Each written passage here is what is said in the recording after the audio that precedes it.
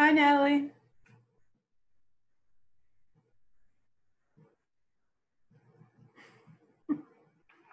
Can you hear me?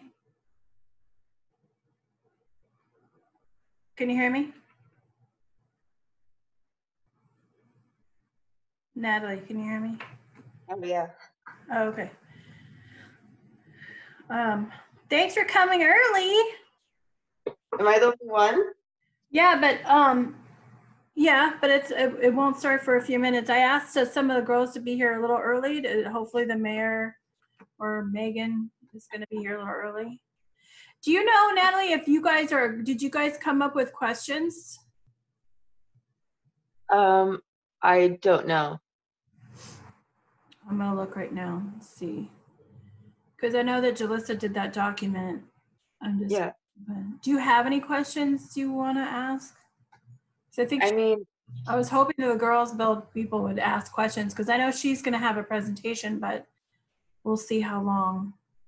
I mean, I could come up with some questions as she's like doing the presentation. Okay, great. That would be awesome.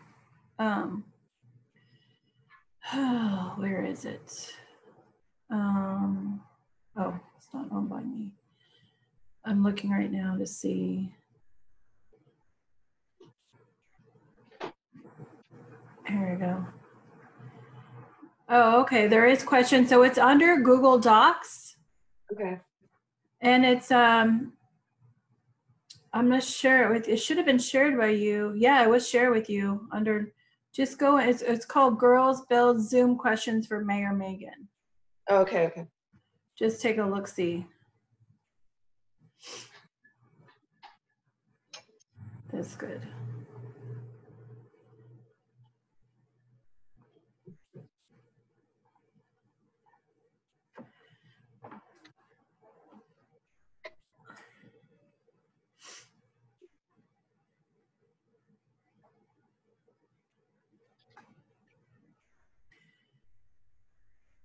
Hey, Caitlin. Oh, I'm unmuting you.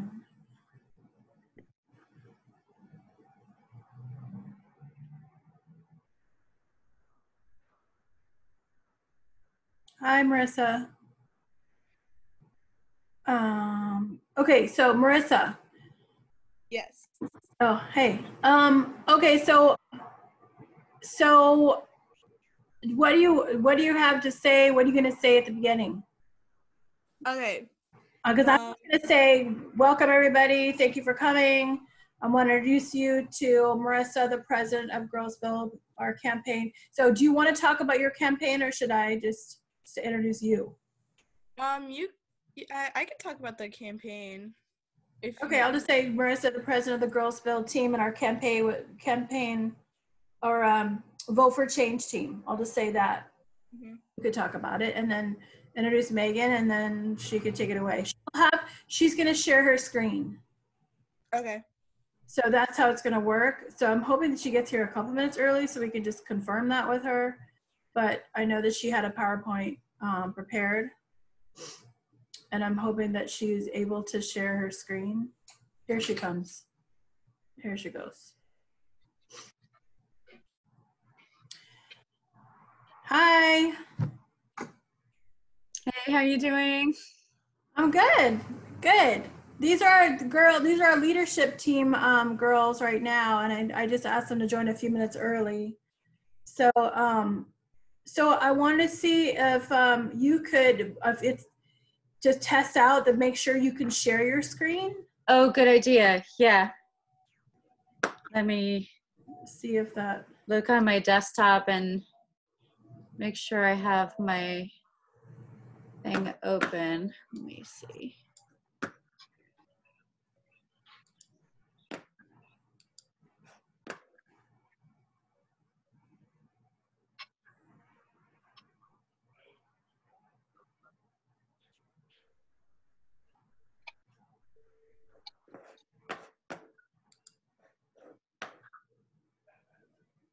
Oh, there we go. Okay.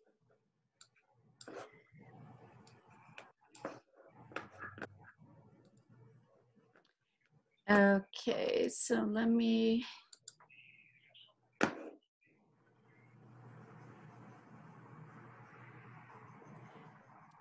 Hi, Lacey. We're just, um, if you're just joining, we're just trying to make sure that um, Megan can share her screen. What works? I think. Let me, hold on, let me put it on my desktop so it's like easy for me to find. Okay. Okay.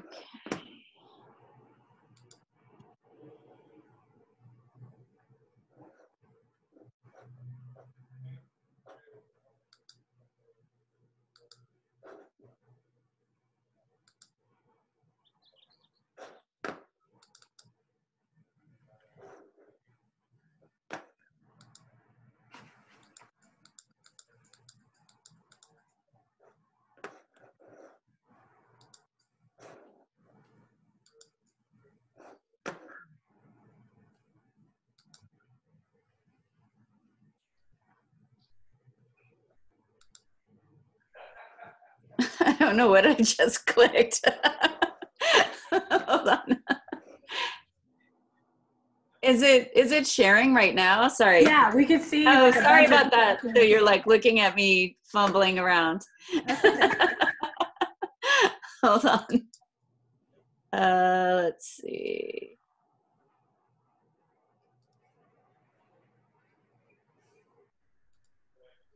There we go. So you can see it now. Uh, I can see, Hey, Yara.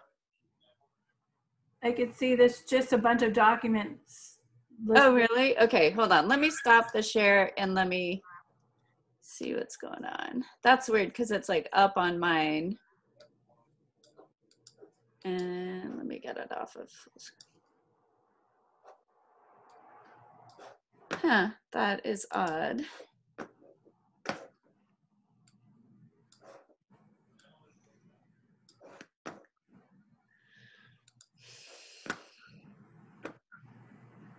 Hi, everybody. If you're just joining, we're just trying to figure out um, screen share for the presentation today. So hang tight.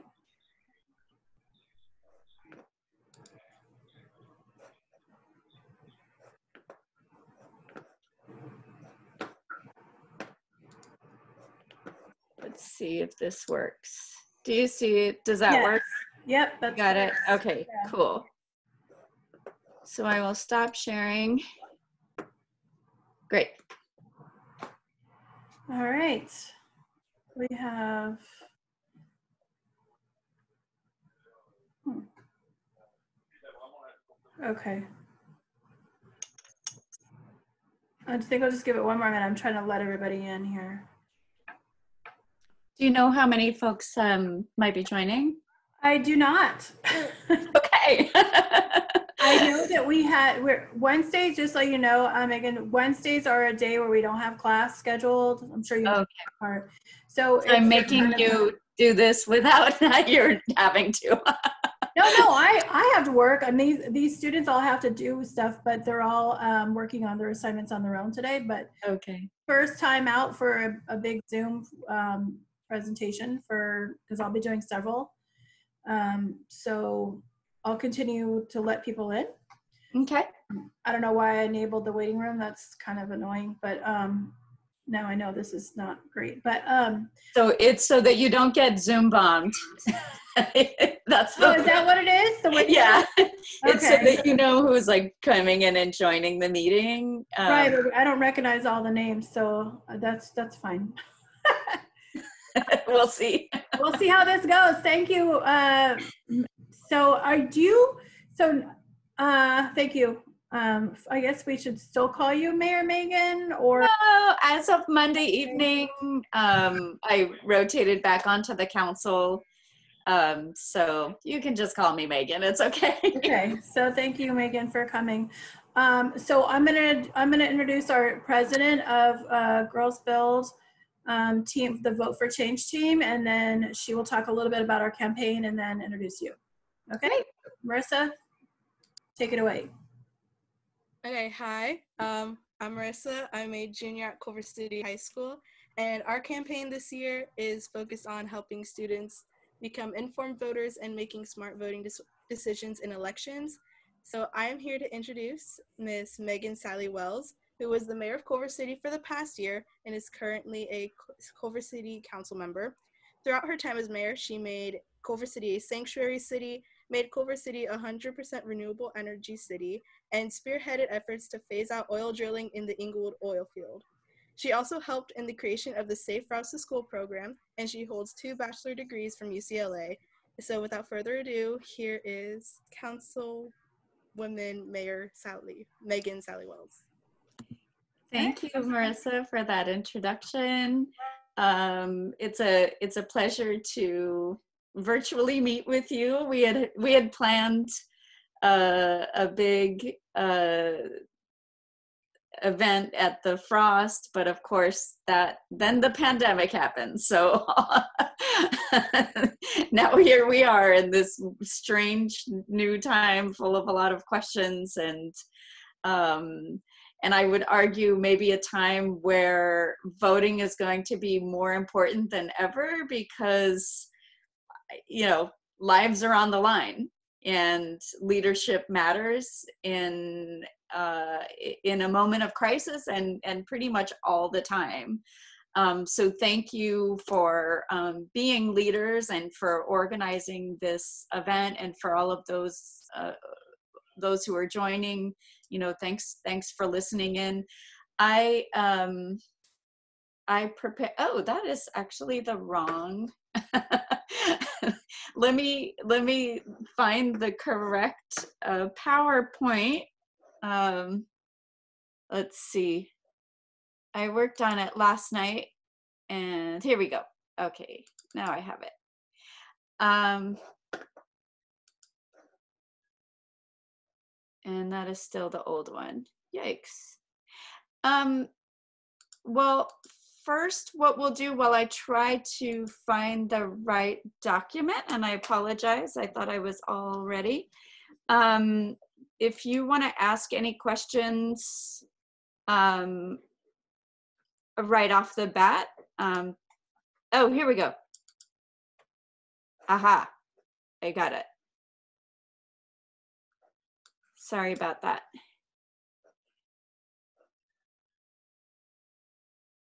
It'll just take me a second.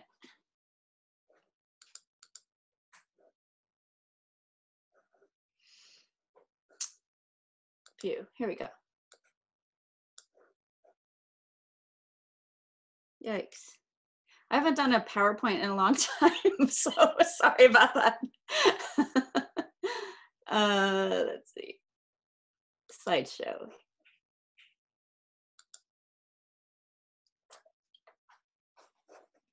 Okay, so now I'm going to share the screen and, and do, sorry about that technical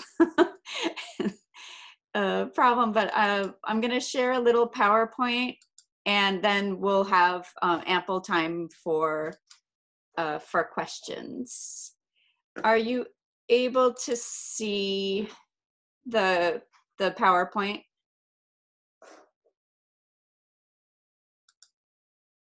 Yeah? Yes, we can see it. Okay, cool. Um, so the the main topic is, you know, why does voting matter? and I'm going to want to hear a lot from you about what your perspective is, and um, I'll just share some of the things that I've both seen as a um, just as a resident in this city, but then also um, somebody who's elected in office and and really beginning to understand like the the immense the the immensity of the decisions that are made on a governmental level that you kind of don't think about in everyday life. Um, so that I think the first reason why voting matters is it's it it's it's really about your future. The decisions that are made on every single layer of government um, have a huge impact on your life. Um, there's a saying that I learned uh, very early on when uh, when I was first elected to the city council, and it was a woman mayor um, who said, "If you're not at the table, you're on the menu." What does that expression mean? It means that if you're not directly involved in the decision making uh, by being a decision maker yourself or by actually voting and helping decide who those leaders are, um, it's highly likely that you will you stand to lose if your voice isn't being heard um, representation is extremely important. Um, by and large younger people have a tendency not to vote. So proportionally in the population they make a great uh, part of our population. But if they're not voting then their interests are not being represented um, in in decision making from a city council mayor uh, level, from the presidential, and pretty much everything in between. Um, and so the it, it's just I, I I think we'll get into the discussion a little bit later, but like the importance of voting is something that's at this point like a life or death decision um, there is a little video um, that the, was shown on the Jimmy Fallon show. So I'm going to see if this um, plays. Hey. Oh, hey, Okay, Jimmy. you can you see in here. I'm on my way to Voting Avenue. Yeah. Voting Avenue? What's that? It's a place you get to go when you turn 18. It means you get to vote. How do you get there? I'll show you the way. Who are you? Well, I'm a ballad, of course. Follow me. So you say that you're a teen. Well, I'll tell you what that means. It's an opportunity for something new. You gotta do your civic duty. So go on and shake your booty down the street as Voting Avenue. Voting Avenue? That sounds far out. It is far out, but it's also closer than you think. I want to know more. Who can go there? Take it away, ballot. It don't matter who you are, if you walk or drive a car. It don't make a difference if you're blue. It's that easy, Mr. Come with me and sing it, and we'll take a stroll down Voting Avenue. So, what do you think, Jimmy? I think I'm going to like Voting Avenue. Can we go? Sure. All you gotta do is register. Go online to vote.gov or just say, Siri, how do I vote? Here's how to buy a goat. Siri. To complete your registration, just fill out an application. It's as easy as two plus two. Then you're making your selection, taking part in your election. That's how you down Voting Avenue. But the presidential election doesn't happen until 2020. Why are we singing about this now? There's an election every year, Jimmy, and state and local elections can be just as important, if not more. Well, what would I even vote on? Well, since you have it there, Legislators, governors, and senators as well. you can vote for your state animal to be the gazelle. vote for greener policies if you're a fan of trees. And vote to ban vegetables if you hate peas. You can vote for judges. You can also vote for mayors. You can write it anybody like Jack. Whether women's issues the water or the. Wow, voting is amazing. Well, does it make you want to sing about it? It sure does. Then be my guest. It really is the trouble. Now I'm feeling out these bubbles. It couldn't be a simpler thing to do. From New York to Sacramento, every lady can be gentle. And she back that way down Voting Avenue. So don't miss the possibility to take part in your democracy. Come join us here on Voting Avenue. Oh, yeah.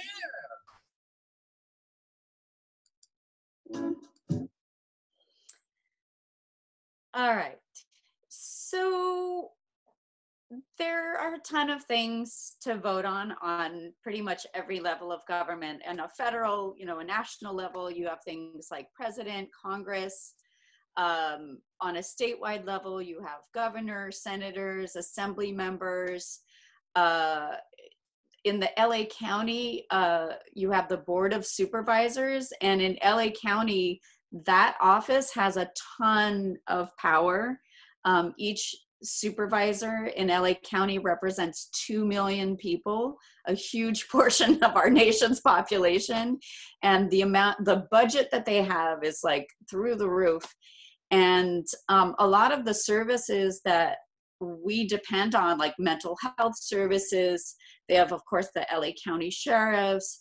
They've got, um, you know, our Department of of public health right now a lot of the the decisions that are being made about the covid-19 response are happening through la county department of public health.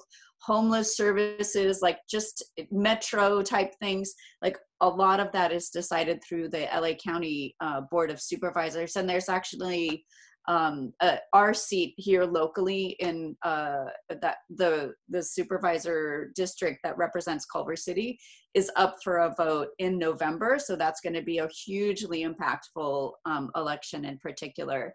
Um, on a city level, you have everything from uh, mayor, city council members. Culver City and some of the smaller cities in California um, have this rotating mayor. So what you don't actually vote directly for mayor in Culver City or Santa Monica or West Hollywood and a lot of these other cities. Um, you vote on the city council members and then they rotate. Uh, but in places like Los Angeles and New York City and, uh, and a lot of other cities, you'll vote directly for the mayor. And then even Inglewood, you can vote directly for the mayor um, and the city council members are are um, their own body. Um, of course, there are school board elections, and um, that also in November. Uh, there'll be uh, board seats up in our local uh, school board for Culver City um, as well as the city council uh, this this November. And then there's all kinds of like ballot measures. All in in California, we have a ton of ballot measures, some of which can be very confusing, but they touch things like renter protections. Uh, you know whether you can be evicted or not. Um, a lot of tax measures go on the ballot um, and and there's just like a whole host of things I, I, think the effect of having a lot of things on the ballot is that it turns out to become a little bit confusing confusing and that's where education like voter education um, becomes really important um, unfortunately like we don't have great turnout not a lot like even the people who can vote um, don't vote uh, as often. I was just reading that you know in in the last presidential election, um, it was what like in California something like 53% of the eligible voters actually turned out to vote in this election that had so much consequence on on our on our daily lives and kind of our future um so you know they, it's it's been a real problem to make sure that people um, are able to get out and vote. So, you know, some of the ways that we can encourage more people to vote is just by making it easier to vote. Um, in California, we've done a lot to try to extend the amount of time that you can vote in and kind of make like registration a lot easier. It was just like a year ago, about a year ago, that you could register to vote online, maybe two years you can register to vote online as opposed to you know mailing in uh, or going to the DMV.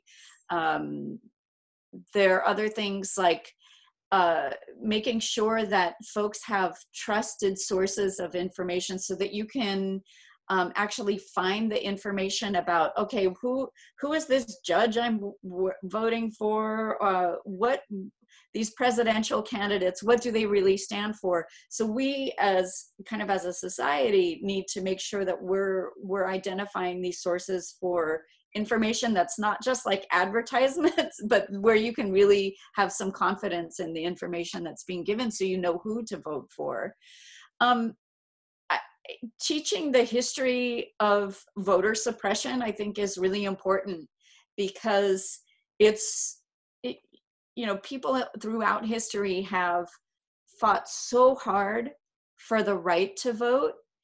And I, I, think the more people know about that history, the more they're able to realize that, you know, this hard won fought uh, right, hard, hard fought right is something that I really need to exercise because, you know, there are still societies where people can't vote, even in in the United States, um, you know if you've been in prison uh, it's really hard to get your right to vote back there are um, there's a lot of voter suppression even today in the united states and and all over the world. And so kind of being aware of that um, helps us um, i think not only make sure that the people who should be voting have the right to vote but then actually you know if don't take that right for granted either. Um so in there at, at the top of this you have a link to um, sos is the secretary of state who kind of runs elections and there's a lot of uh, our secretary of state has done a lot to try to uh, encourage uh, high school students to get involved. And as alex padilla actually when he he did this whole tour all around um, california. And the very first one he did was at culver high at the robert frost and he gave a big presentation. I forget if it was two years ago or maybe three years ago. Um, but uh, culver city high as a like a democracy school um, was uh, has has really been involved in in this kind of statewide movement to encourage uh, younger folks to vote, and that's really important. One of the new things that he did was make it uh, make you uh, make pre-registering to vote uh, a possibility, um, and so uh, that's something that I hope that if if if all of you who are at least 16 i hope that you're all pre-registered to vote because that makes it that much easier um, to just vote uh, later you know once you actually turn 18 i think they and the secretary of state did a video that i'm going to show you too We are constantly told that we are the future, that our generation will make a difference. We are told that our time will come, that we are the leaders of tomorrow. Well, we shouldn't have to wait to make a difference. Our time is now. Our time is now. Our time is now. Sure, we may not be old enough to vote, but we can contribute in other ways. And for those of us who are 16 or 17, we can actually pre-register to vote. Pre-register to vote. Pre-register to vote. California, you can pre-register to vote at 16 or 17 years old and vote when you turn 18. Because we don't have to wait to get informed. We don't have to wait to have our voices heard. We can volunteer to be poll workers. We can contribute to our communities. We can make change. Our time is now. Our time is now. Our time is now. Pre-register at 16 or 7. And vote at 18. And if you're 18, there's no excuse. Your time is now. Visit www registertovote.ca.gov and pre-register or register to vote today.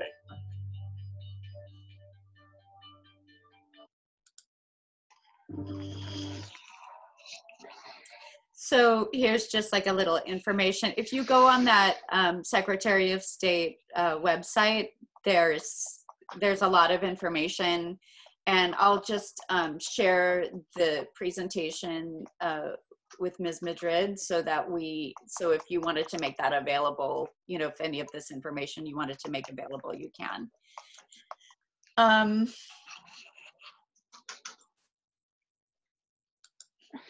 and then there's also uh and, and i think what we can do is like we can get into the you know the the vote 16 idea. It's something that a lot of um, culver high students have been talking about and um, i'd love to talk to you more about that.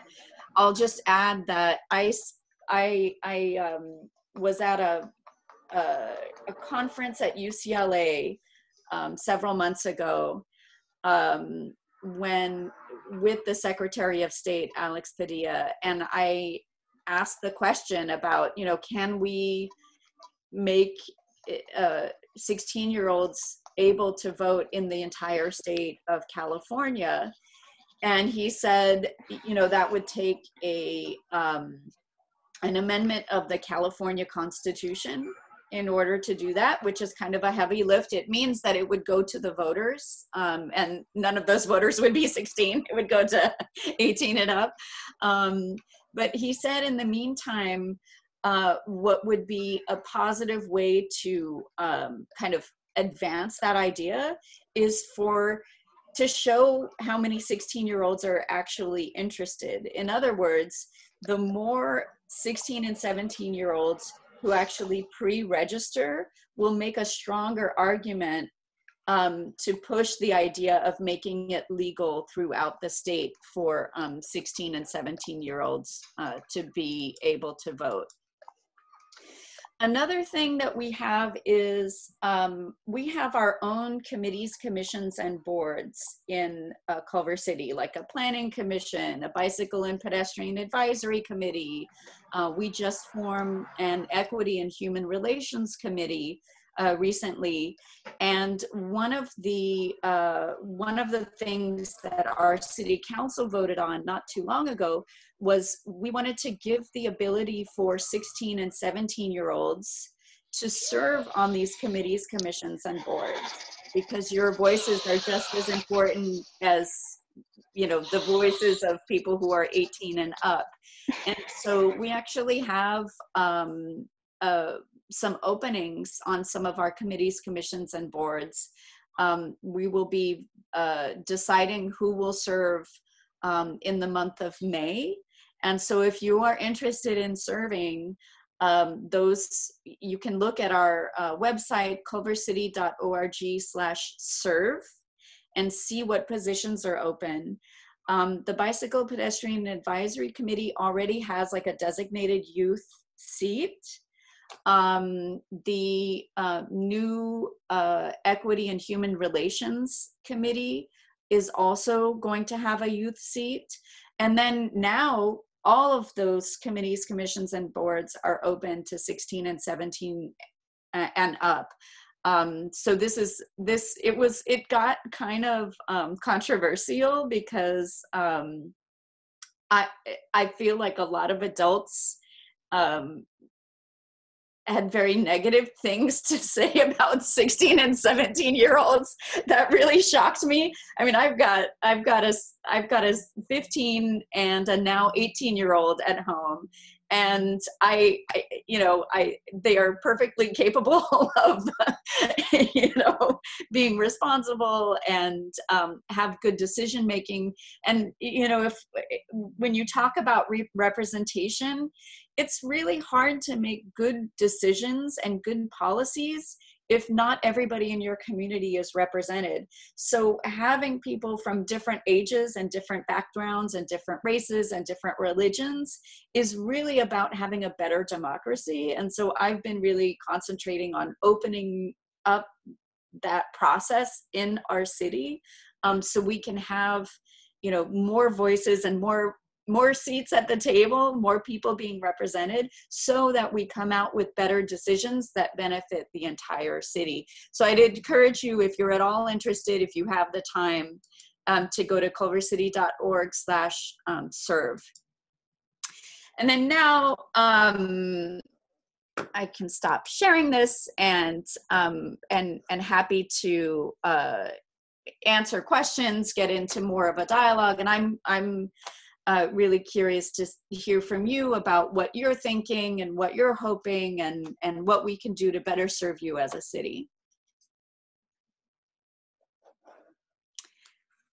So I'll stop talking now. uh, Caitlin and Lacey are gonna, uh, have, we had some questions and Caitlin and Lacey are gonna help with that. Hi, I'm Caitlin. I'm just pulling up the questions right now. Give me one second. Lacey. Yeah. um. Okay, so one question, um, just kind of a basic question, but um, a few team members were actually wondering what was your favorite part about being mayor slash city council member, or just your favorite um, part about being like a political leader in general. Um, yeah, I it's really exceeded my expectations. um, so it's hard to pick a favorite, but um, I, you know, I kind of got into this because, well, it, I was. This is not something that I ever aspired to do or to be in in my life. It's not like that was part of a, a plan or anything like that. Um, I was I used to live in Paris. Um, I was a translator, and I came back to Culver City um, after my mom died to help take care of my grandmother. Um, I had been um, a, a grad student in Paris, and and then um, was spending most of my time just taking care of my kids, and so I I, I, actually didn't have a clear career path to tell you the truth. and um, but when I came back to Culver City, I started doing a lot of volunteering, and I started um, getting involved in my kids' elementary school. They they went to Lynn Howe, which is like a block and a half from our house, and I, you know, having lived in Paris and um, having traveled in a lot of countries in the world, um, and you know, being a translator and kind of, I, I studied anthropology, right? So I was already really geared to um, try to get beyond my own, you know, limited frame and try to understand people um, from different cultures, etc and uh, and, and bringing that kind of world vision back to my hometown um, was something that was uh, like it, it just kind of felt like a lot of the decisions that were being made on a city council level like didn't address um, i think some of the needs that i saw and the things that um, as a as a woman, as a mom, um, I, I wasn't seeing being done. And so uh, I started running because I was like, oh, you know, we need to fill some of these gaps. Um, unfortunately, in, in Culver City's 102 year history, only five women have been elected to the city council. I mean, that is shockingly low. We've only had one, uh, we have one African American finally after a hundred years, right? Like that is insane. Um, we've had no openly gay uh, members of the city council. We've had one Latino. I mean, it's just like the the level of representation of our community has been kind of shocking in my opinion and so like for me it was really important to to bring more perspectives um, to to you know how this city is run. Um, so i've been really focused on equity. Honestly i've been really focused too on making sure that um, that i'm leaving the door open and mentoring people and bringing you know you know helping people um, who who wouldn't see themselves as an elected official. Like i didn't see myself as an elected official. Like no you actually have something to say and your perspective is really important. And so i feel like that's kind of been the the core of my work.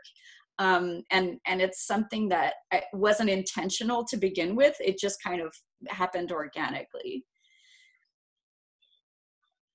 Nice. Well thank you for that answer. That was great. That was that was amazing. um, another one of the questions we have is um, kind of you mentioned a little bit of it before, but when did you initially become interested in political process, and how did you get involved in government? And also, what steps do you think are necessary to reach a, le- a leadership position like yours? Yeah, again, it was kind of random. um, and and and really like i i became the chair of my neighborhood association.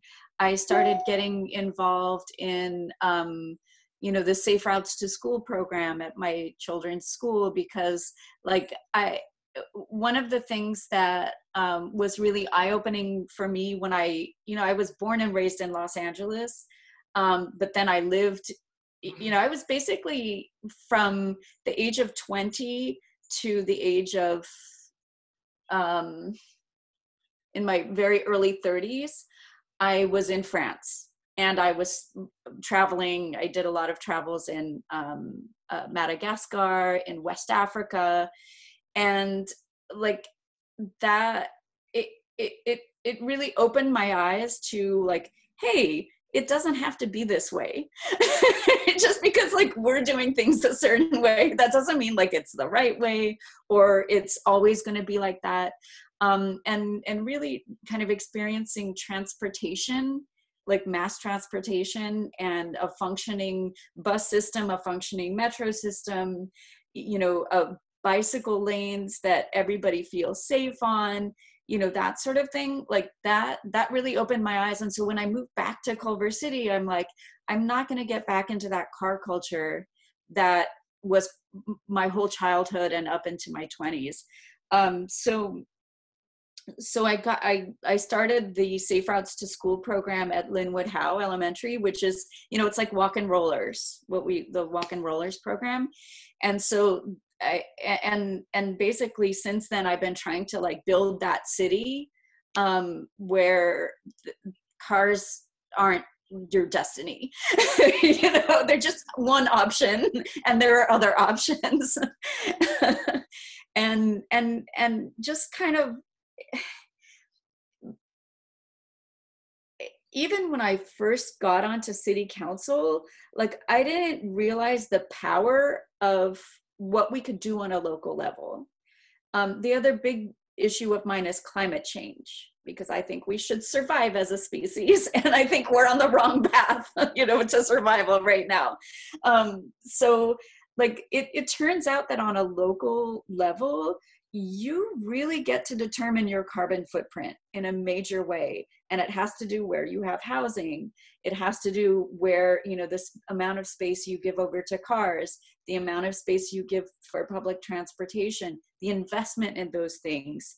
Um, and so like it, it really opened my eyes to like oh my gosh this stuff is super important obviously like voting on the president and all of that you know congress that is consequential but like the I, I, wish more people knew how important it is to vote on a local level because most people ignore that and it actually is it has more consequence than than i think any anybody really kind of understands.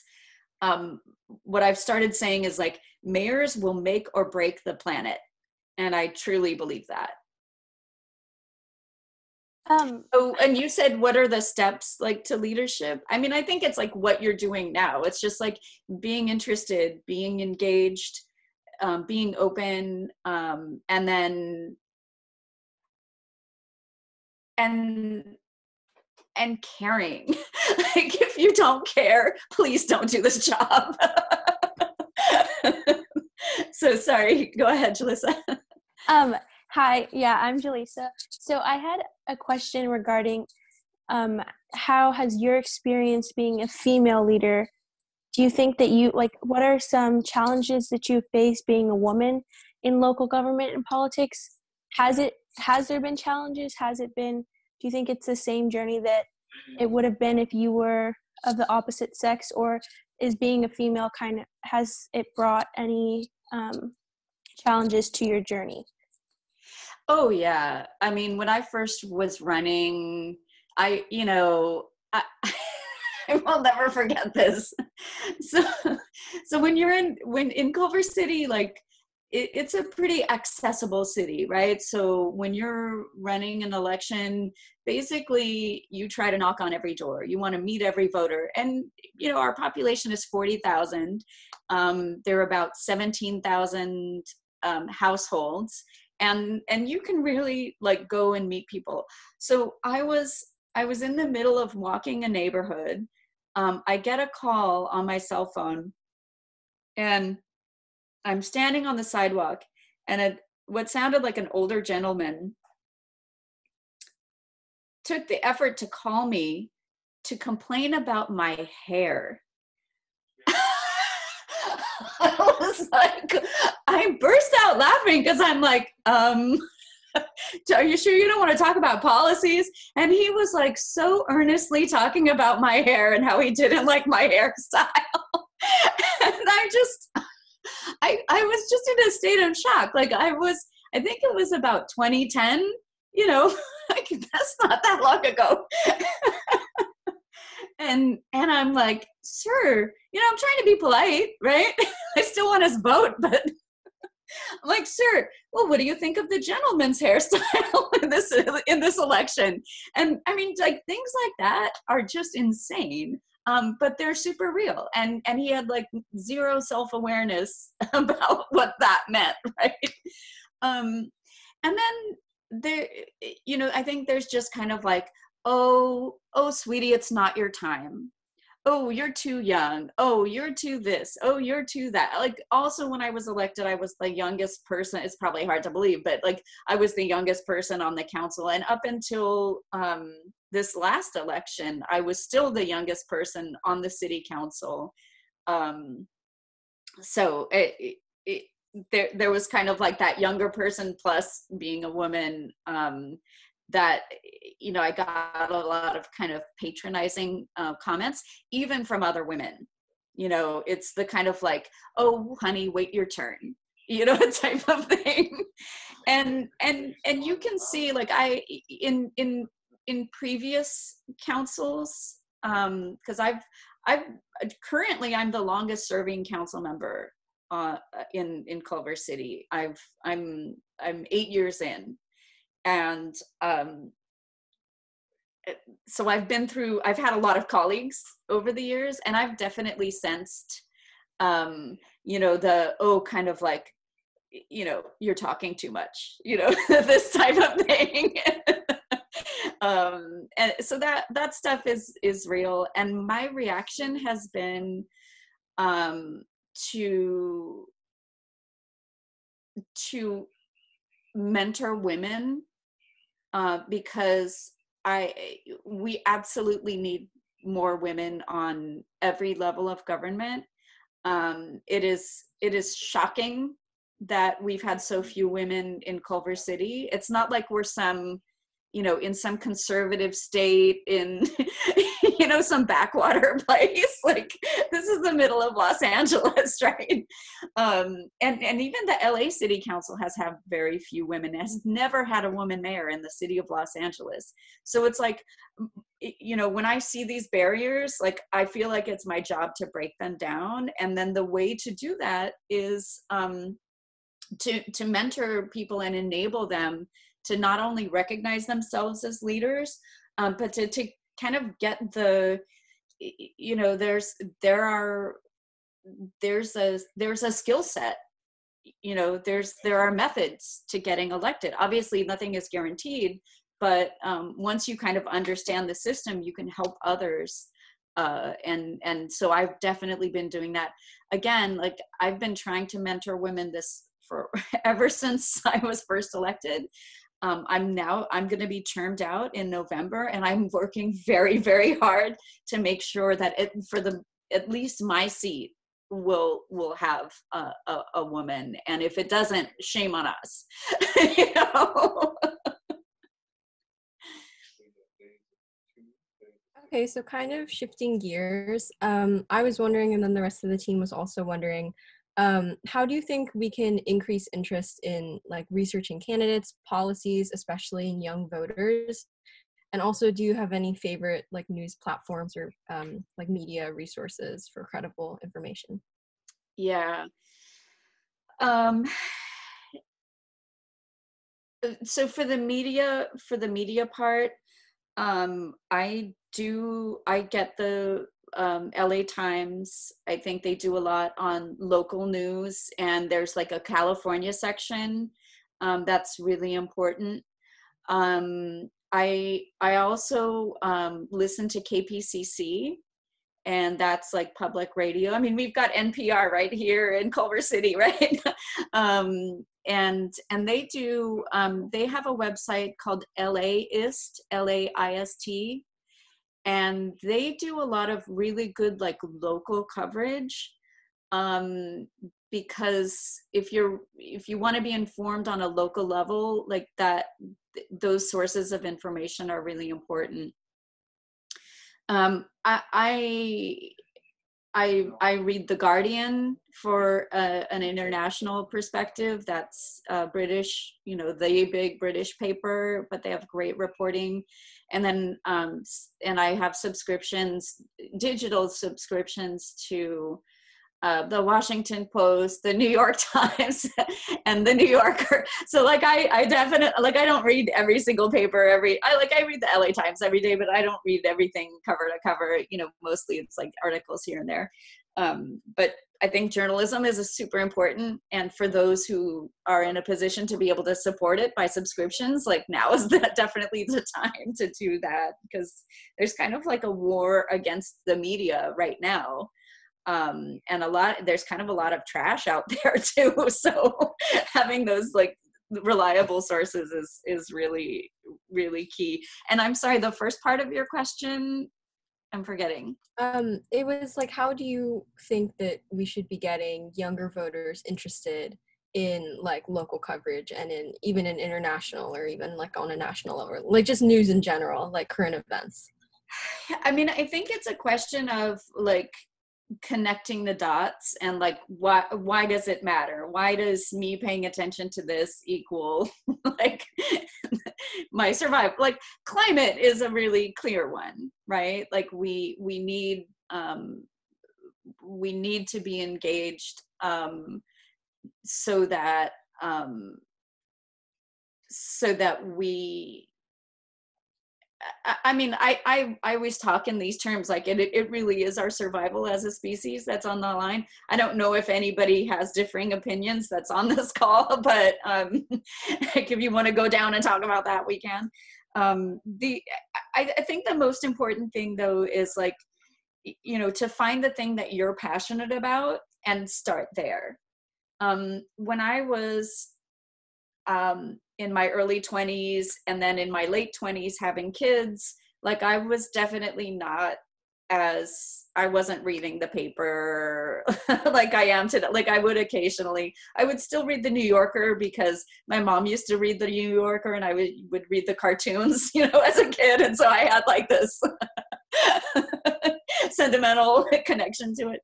Um a- and so it, I, I feel like the and it's not like you have to do everything but if you can do one thing and you follow that thing that is really important to you um, i know that you know gun safety is one of those fundamental things and it's one of those things where youth have really been leading in the efforts to wake adults up to like dude this is not working right like what the status quo is definitely not working um and and it's unacceptable so like if it's just paying attention to that issue or you know hunger or you know equity or racial justice like these types of things i would i would just say like pick that thing and follow that thing Nice. Well, thank you. Um, in light of, sorry, you can probably hear the motor going on outside. um, but in light of, you know, quarantine and coronavirus, um, how has it been leading our community through these unfortunate and uncertain circumstances? yeah well it's um what a scary time you know i'm i'm talking to you know i'm talking to people i was talking to someone i went to high school with whose whose dad just died alone. They couldn't have a funeral. Um you know like where how do you mourn? Like ha- and she was getting over covid-19 herself. Um the as of the last count we have um about 270 people experiencing homelessness in Culver City. There are probably more that are invisible that didn't, you know, get counted. Um, people who have lost their jobs, people whose businesses are shutting down, um, people who are sick and suffering. Like I, I it, it is, it's somewhat overwhelming um, to to to not only you know think about all of these different situations but to try to respond to the needs and so our our answer has been um, to feed and shelter people as as quickly as we possibly can. Um, in Culver City, we're really, really lucky because we have an excellent fire chief and an excellent city manager who have who have experienced um, crises before um, and who kind of have a, a a protocol of how to respond to them. So way before most of us were paying attention to the crisis, um, they kind of already had, you know, were following through on their plan, making sure that we have enough protective equipment, um, making sure that we're staffed up and available to, you know, deal with an influx of of um, medical cases and you know making sure that all of our hospitals and have what they need um, checking in on all of our assisted living facilities for seniors. Um, so we thankfully we were kind of ahead of the game. Um, and then we've been uh, you know our senior center on a normal day would have fed you know over a thousand people per day right? And so now what we're doing is we're delivering all those meals. Um, we're providing a lot of you know seniors get a you know isolation is a real problem among older um, adults. And so like how do you actually like provide that social cohesion in when you're doing social distancing. So we're doing checkup calls. We have a ton of both staff and volunteers who are just calling people and checking in on them and saying like hey how are you doing? Like a, just like a friendly voice and if they need something we can help you know con- connect them with those services. Um, but also you know just hearing another voice um, is is really key as well. um, it, it's been so i i can share this with you um, I'm sorry if you're it my husband's office is right next to mine, so I'm sorry if you are hearing too many voices. Um I um I so I just stepped down as mayor because we were doing our rotation and usually we would have done a state of the city um, address. And instead of that, I'm like, oh, well, what are we going to do? Like a state of the city seems like a really weird thing. So my husband and I made a video to kind of like think about this current moment. If you'd like, I can share it with you. I don't know. Are you interested? It's like three and a half minutes long. Yeah. Okay. Do you have time for that? Yeah, I think so. Yeah. Okay, cool. I'll get out of um, full screen mode on this. And I, I think it just kind of shows what I'm thinking in this current moment and um and and and how you know the city has has responded. Wait, wait, I can't go in full screen yet. Hold on. So let me do the screen share.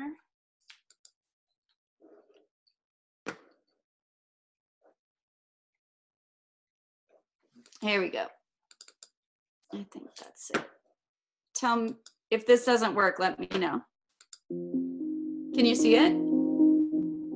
Yeah, okay, cool.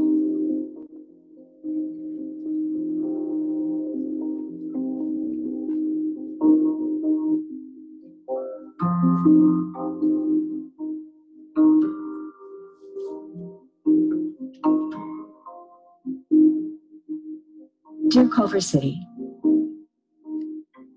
there's no other way to say this. It's a time of terrible loss. Our normal lives have been turned upside down.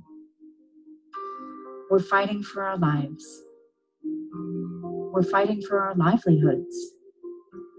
We've made changes and made sacrifices like never before. We're in an extraordinary state of interdependence where our safety depends on social distancing. Today, being a good neighbor means staying at home.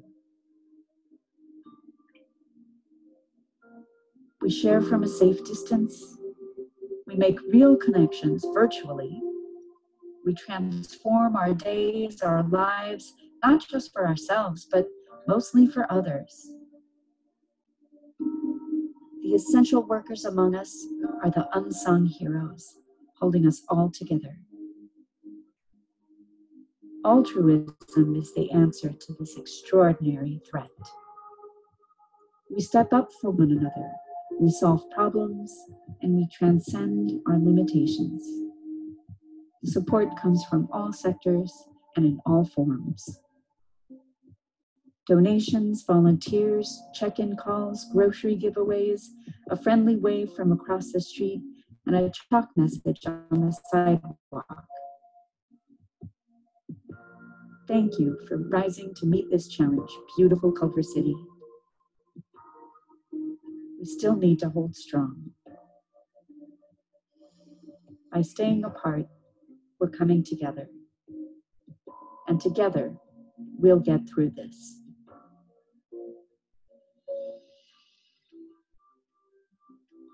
To you, our city workers, you have stepped up in an extraordinary way during this crisis. You've completely refocused your efforts on keeping us safe. You're responding to the emergencies, feeding and serving our seniors, providing a helping hand for those in need, and finding answers to every question. You're keeping the lights on, the trash picked up, the streets clean, the water, the buses, and the council meetings running. Your talent, dedication, commitment, and grace under pressure are outstanding. For the past eight years, I've worked alongside the best and the brightest. And I couldn't be more proud or more thankful for what you do in this time of great need and every day. It's been an honor to represent the city for the past year as your mayor, and unexpectedly, to see us through to the end of this crisis. Thank you.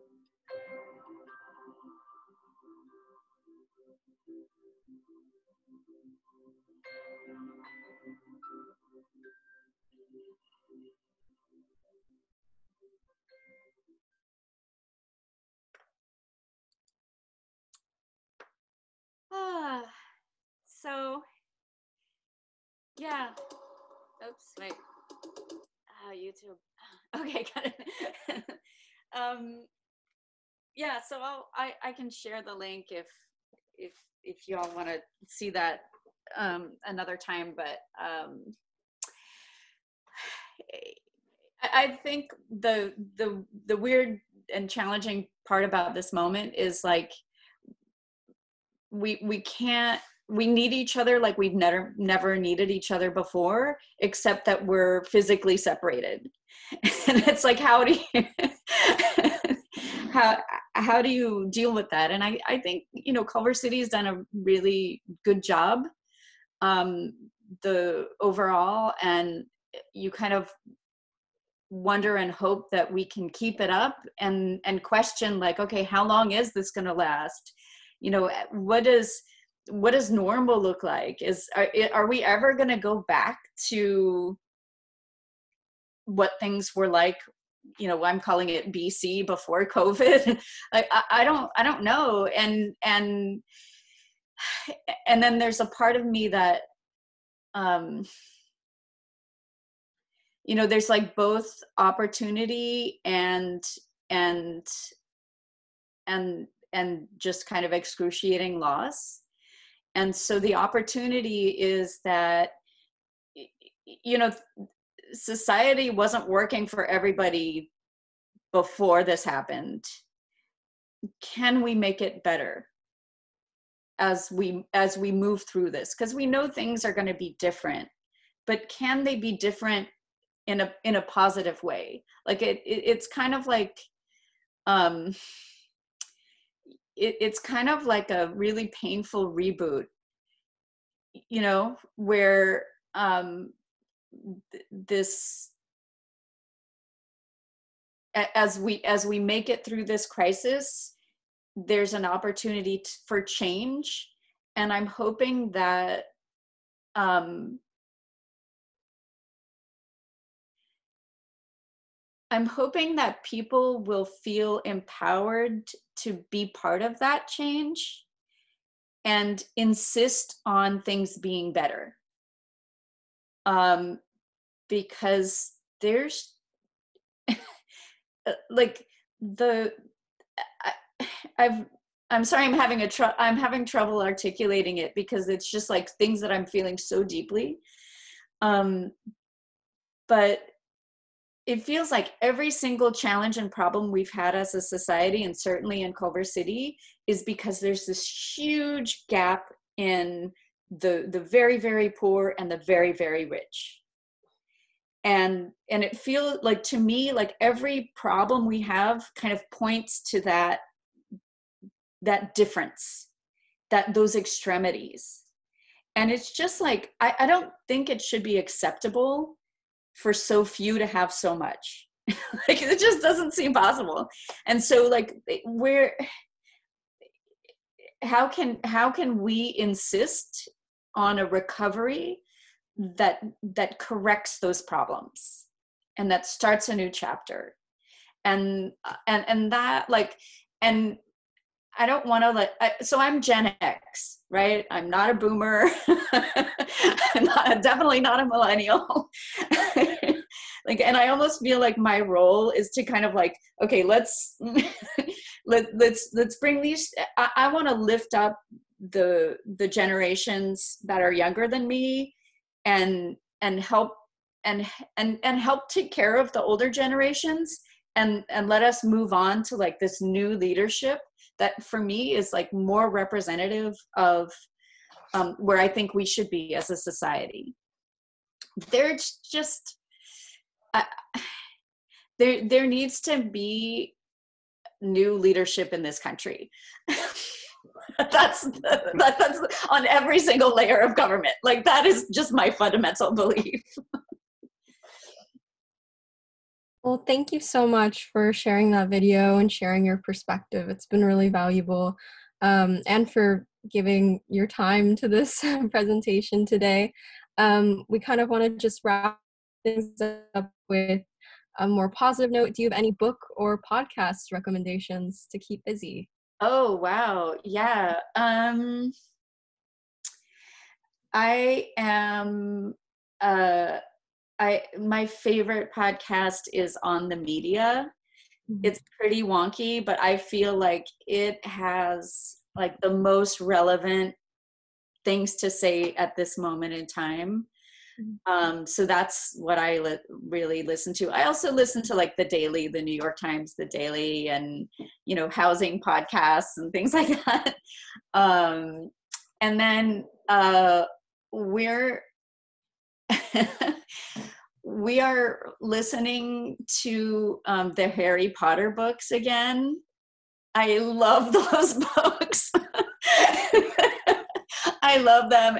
And it feels like this, it's like really, um, it, it kind of gets me out of my own head thinking about somebody else's challenge. And I, I don't know, I just, it just totally brings me back. So um, we've been listening to that as a family because it's, um, I don't know, it just the moment seems, um, seems right do do you all have a podcast like what are you listening to and are you making one i don't have a podcast but i love the future thinkers podcast oh cool i'll check it out it's i like it because it, it kind of intersects with global issues but then also with like science and technology and then it brings on a lot of um, interviewees that i also follow like their own podcasts and ideas so it's just really great to listen about like philosophy and then its connection to like science and like the modern world. Great. Yeah. Awesome. My mic wasn't working. Uh, yeah, I'm not a huge podcast listener, but I do listen to NPR with my parents all the time because that's what they listen to. And so I've been doing that, but I've also been reading, like, currently I'm reading a book about existentialism. Wow. Because why not? Yeah. Corona time, you might as well. Yeah. um, so yeah, that's what I've been doing. Yeah, I, I'm not a big podcast listener either. I have listened to a couple that like Spotify has to offer, but I haven't like delved into like the podcast realm. I've been more Netflixing, but I am also reading um, the book that I'm reading right now, which I really like. It's called Just Mercy, and Mm. it's it's um it's kind of in light of like what we're discussing. It's more it's about the justice system, but it still has to do with like being an informed voter in the sense that like um as voters we need to realize the like there's a lot of corruption that goes on with being wrongly convicted and in the justice system overall and the book brings it narrates the story of a man who has been wrongly convicted.